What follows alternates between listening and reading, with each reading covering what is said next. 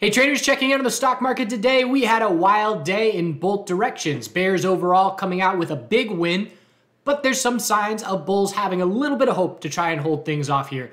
We started the day with a bearish reaction to the jobs numbers. Our daily lower highs were very quickly set, and it was one of the weakest first halves of the trading day that we've seen in a very long time. All major sectors dropping together. Tesla down 10%, NVDA down 10%, I'm to make a video specific for Tesla after this one, so keep an eye out for that. To put that out on a bunch of different social media platforms.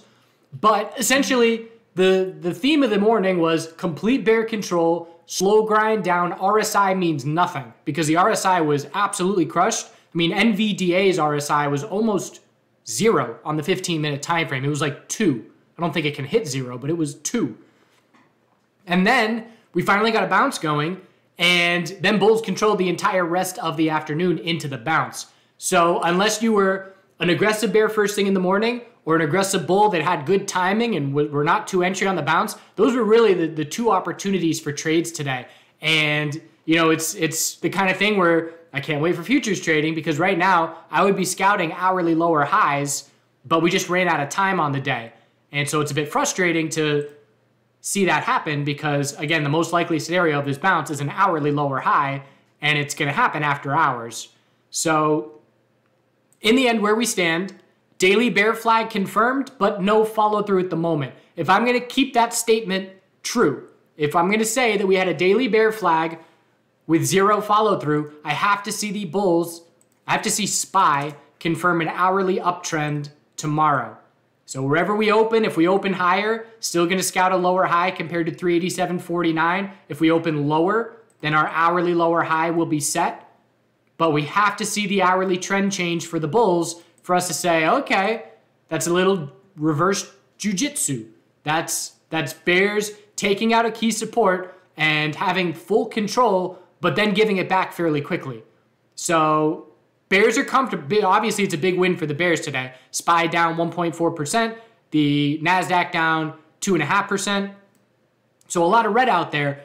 But again, there's still a little bit of hope. And the little bit of hope is in our other major sectors, not the NASDAQ. The NASDAQ continues to lead the way down as it has all year. We can see the daily bear flag is more convincing on the NASDAQ, but where the bulls held on, XLF defended support and had a significant bounce, and XLV held support and is trying to regain an uptrend. So essentially the analogy from yesterday's video about the fist fight, the hoof, the hoof fight between the the bear, the bulls and the bears.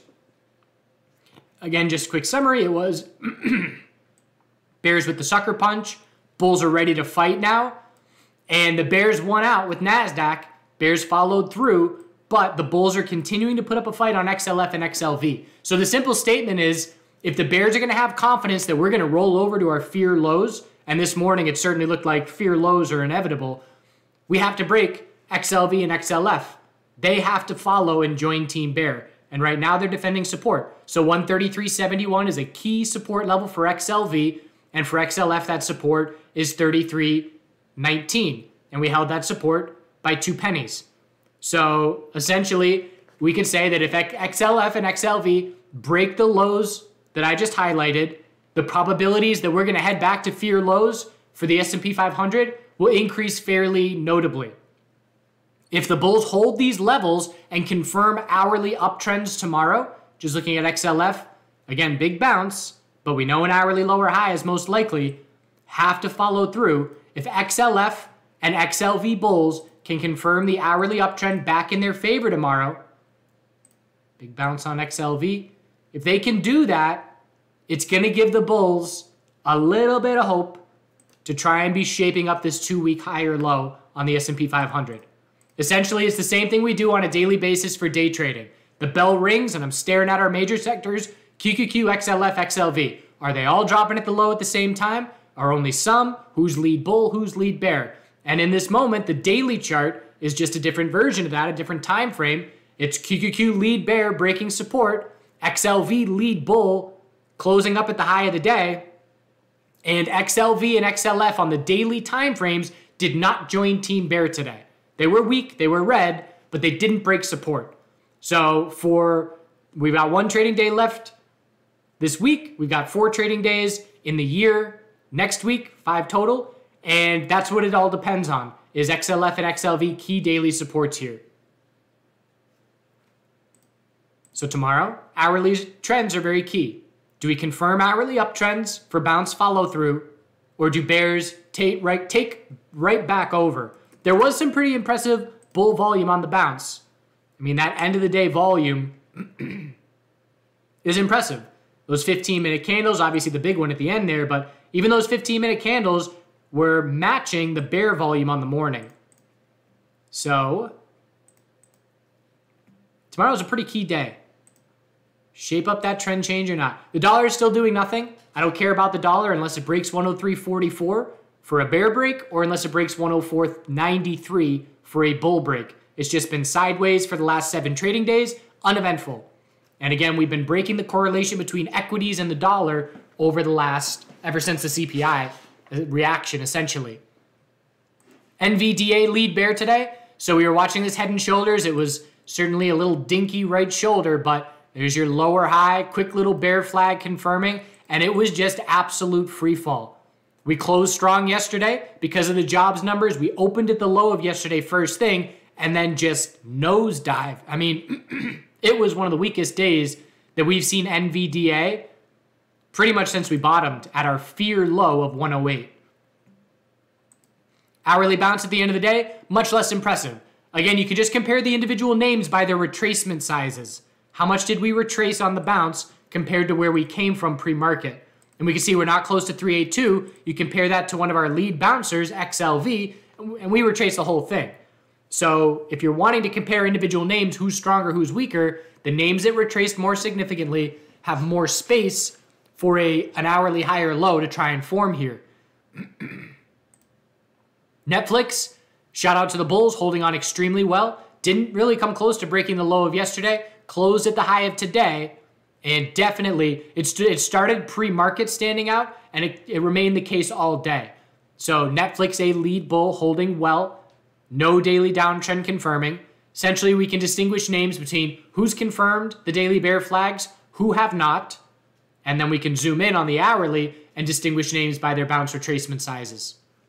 Apple didn't confirm the daily bear flag. We know that QQQ did, we know that Amazon did and Microsoft did, Apple did not. So that's another thing. If I'm a bear, I really want to see Apple take out that support level and head to our fear low of 128.65.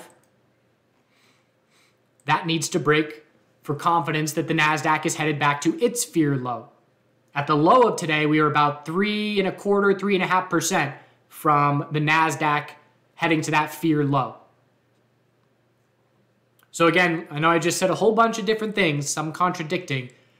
Big win for the Bears today, but there's a glimmer of hope for the Bulls in XLF, XLV daily supports, Apple daily support, and that's pretty much the hope that we're that the Bulls are clinging to. Because if those levels break, probabilities of heading back to the fear lows increase significantly. IWM, daily bear flag confirmed, but no follow through at the moment notable bounce, but we have to confirm the hourly trend change, same as everybody else. So an aggressive bull tomorrow can look at this and say, okay, that's a big enough hourly bounce that I am going to be interested in an hourly higher low. And if we break the low of yesterday, that would stop me out. But that is a lot of space on a lot of names for an hourly high or low attempt. In hindsight, when was the time to go long for this bounce? Again, the mindset that I am in, and this is for my own protection as a trader, because my edge, one of my edges as a trader, is a bounce trader. And those of you that have been watching for a long time know that I love them. 2018 end of year market collapse, all over it. Crypto bounces all over them. But in this market environment, if I were trying to play all these extreme bounces, I would be blowing up my account. So I had to adopt, I had to adopt a, a clear blanket statement where to protect myself, if we are in free fall, if we are bearish on all time frames, I am not looking to play a bounce because if I am, I will enter too soon. And it's happened so many times where we've had so many dumps this year where we follow through or where RSI is out the window. Again, as a bounce trader, RSI is one of my most important tools. And it's only it's the usefulness, it's only useful in an uptrend. It's way less useful in a downtrend. And today was a perfect example. RSI didn't help at all on today's bounce. If you're in a bull market, it's much easier to play bounces using RSI as a bit of a guide, and that's when we use our back burner trades. so for me, you know, I look at today's action and I wanted to play a bounce the entire morning. It wasn't a full trading day for me. I was doing other things, so I wasn't, you know, fully in the zone. But it's the kind of thing where I just say, nope, I'm just not playing a bounce. And that's discipline. And yes, I missed opportunity. I didn't get the bounce at the end of the day. But if I went into the day with the mindset of, I'm going to try and play a bounce, I definitely would have attempted too early because of where the RSI levels were, how extreme we were to the downside. But today was definitely an anomaly day with how crushed things got. And we knew the bounce again. It's it's knowing the bounce is inevitable. I know I'm going to watch an hourly bounce take place without me. I have to accept that, knowing that I don't have confidence in nailing the bottom. The hindsight was the first time we confirmed the five minute uptrend on SPY. That was the low of the day. At no point did we confirm a five minute uptrend, and then we did, and then we only went up from there into the close. And the NASDAQ had a little fake out where we, no, actually it didn't. I take that back we rejected from resistance here. I mean, so that was a signal, first five minute uptrend for the bulls, and that's that's an example of again patience, knowing that you don't need to nail the bottom, and it's the kind of you then have a support level to play off of, where if you long on the five minute trend change occurring, your stop goes under the low. There's definitely a decent amount of risk there, so your position isn't large. But anybody scaling in to try and play a bounce today got crushed because of, again, the extremes and the slow grind down all the majority of the morning and, and the start of the afternoon. So I am in a protective trading mindset, knowing that the macro environment and the macro trends do not favor my bounce edge as a trader. It will eventually, and so I'm just waiting for that. You know, my my bounce edge as a trader is so much better in a bull market than a bear market. So why don't I just wait for the next bull market before I start actively pursuing those trades again? That's my mindset of what I'm waiting for. And today was just frustrating because it was finally, all right, we got our bounce now. I'm scouting for a 15 minute or an hourly lower high. And I made one little attempt here for a, a potential hourly bear flag with a, a tiny stop out. But then we get to, you know, 350 and it's, well, great you know, the, we're going to set the hourly lower high shortly after the market closes, in my opinion, but we're out of time. So essentially, a whole lot of sitting on my hands, waiting for the bounce so I could short, but then the, the bounce taking place into the close, leaving me no time to short. Again, futures trading, looking forward to it.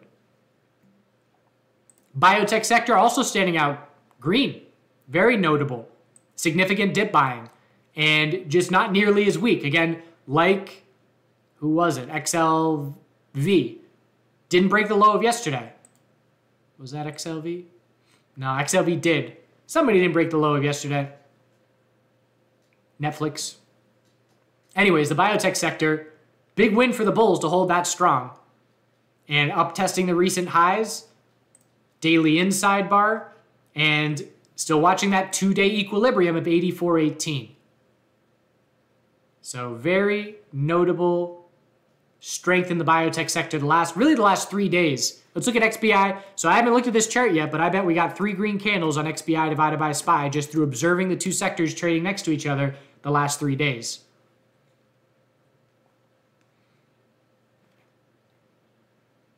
Curious if this is going to give us any clues into the direction that the two-day equilibrium is going to break. Is that a monthly trend change trying to take place? Maybe. If this monthly uptrend confirms on the relative strength of the biotech sector to the S&P 500, that would be a, an ideal setup. If XBI breaks the two-day equilibrium bullish and this chart confirms a monthly uptrend. Gold still a rising wedge possible, still watching it. Dollar not breaking resistance, still waiting on the dollar, but this is a rising wedge. We're either going to see the bulls negate it with a break over, this is actually silver, with a break over 25 or the Bears are going to confirm here with the dollar breaking resistance and a loss of this uptrend support. And gold, same thing. Rising wedges are definitely in play. And in fact, today was notably red, and the, the dollar was not notably green. It was green, but nothing special. Miners, red, but bulls bought the dip. And now the miners are showing us relative strength comparative to the metals after showing us relative weakness for the last week. So definitely just following the broader market here. You can see we dropped on the morning and bounced in the afternoon. But we got nice tightening ranges on these miners now. High, low, lower, high, trying to shape up a higher low. And again, I just don't have confidence in the metals or the miners in terms of a direction until the dollar lets us know how we're going to break this seven day sideways range. Oil, daily getting some follow through, but upper wick. Do we still have a four hour uptrend? We do, but it's more of a pullback than the bulls would like to see there. Again, look at the correlation here with everything. Oil dropping on the morning and bouncing in the afternoon. The metals were doing it. A lot of things were correlating with equities on today's trading.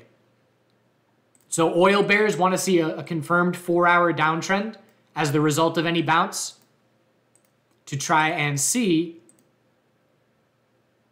a rejection from weekly EMA 12 resistance. But bigger picture, if you're looking at the longer term here, all we care about is the daily uptrend. Can bulls maintain the daily uptrend to keep this bounce going? And anything above 73.40 is a daily higher low. Natural gas bears following through. Pretty tough fake out here because we confirmed the four hour uptrend. We broke resistance by three pennies and then rolled over. That's a a tough break. We know a confirmed trend change with zero follow through means zoom out and look for a potential bear flag, but uh, a tricky one where a bull looking for that daily high or low attempt, inside bar bull break, and a, a pretty tough fake out. So now we're looking down at 5032 and 474 as the only nearby supports as the bears continue to keep confidence in natural gas. And the energy sector, red today, same thing, we confirmed a little daily trend change, no follow through. Big drop today. Still within range, tightening up on the daily, but honestly, so big picture, let's zoom out where we stand with the broader market. Bears have favor, obviously, because the CPI FOMC reaction and the fact that we just confirmed the daily downtrend on the Nasdaq. S&P 500, I'm still pretty much considering it a double bottom, but so Bears definitely have short-term confidence, but again, we can we can see a setup where it's possible for Bulls to eke one out here. And again, it's all XLV and XLF. Can they hold that support and head back to the bounce high from yesterday? If they can, then SPY is going to be a daily bear flag with zero follow through. And again, use those futures charts because the futures chart shows us the bear break was even less impressive because the low from a couple days ago was hit in extended hours, and it doesn't show you that on SPY's daily chart. So it's getting interesting. Burden on Bulls. Appreciate you watching. Happy holidays out there. Again, stay warm. It's really cold out there. Carry around extra stuff in your car mittens, gloves, scarves, and stuff like that. If you encounter people in your travels, I made that. I made a tweet yesterday about that. And this morning, came across a gentleman who was out in the cold and traveling and you know had his backpack and his sign and had no gloves. So I gave him some gloves. He was very grateful, and they cost like eight dollars wherever I bought them. Also, the animals put out extra bird seed. I'm gonna be hooking up the raccoons, give them some nice energy so they can stay warm. Animals burn a whole bunch of energy when it gets really cold. They need extra food and do good things. Have a great Thursday. So, where we left off, I went through Mammoth Cave in Kentucky, then went through land between the lakes, and then went over to Mark Twain National Forest in Missouri. This is chapter four. So, making our way westward, taking out a pretty good chunk of the country so far at this point. So here we go Irish Wilderness, Mark Twain National Forest. My hat was pretty fitting. It was actually my grandfather's hat. He got it in Ireland when my parents got married, and I wore it until it fell apart. That was my favorite hat, and I've never found one like it. So in this spot, there was some really cool rivers and just lush green. It was nice and hot. It was uh, June at this point, so some really good spots to just swim. And there were some caves that were really cool where you could just feel really cold spring water coming out of them. A little bit eerie, but uh, a great spot to camp. Nice and flat and shade and not too many ticks crawling all over you. So I had to take a picture of this guy, and I forget his name, but had a, an interesting encounter with him. I was just there all by myself, again, in the middle of these national forests in the middle of the week. There is nobody around. So I'm there by myself, just, you know, reestablishing my game plan or picking where I'm going to go. And this guy comes bombing down the hill with this bike with these huge tires and his toddler sitting on the handlebars. He must have been going 30 miles an hour, insanely fast. And he whips up and and comes over to me and he's this I, this Russian guy and I'm can't even possibly do his accent. But if you've seen the movies, you know whether it's uh, Catch 22 or all those movies with the Russian mobsters, this was him. And he told me about how he could steal my car in 55 seconds with a screwdriver and all of his other uh, breaking the law stories and adventures. So I didn't really ever, this entire road trip, which lasted seven months, I never really had any fear, but I was always, you know, on alert. If I'm by myself, you know, I don't want to tell people exactly where I'm camping when they know I'm by myself. And I always got pepper spray and a knife within an arm's reach just in case. But other than that, I mean, you know, I was a little uneasy with this guy, just the way he approached me. But other than that, there was never any fear of animals or being attacked in the middle of the night or anything like that. But had an interesting conversation with him. He ended up you know, saying he had the greatest weed and he pulls out this really terrible weed and takes out a, a can and he crushes it and pokes the holes in it and he wants me to smoke it.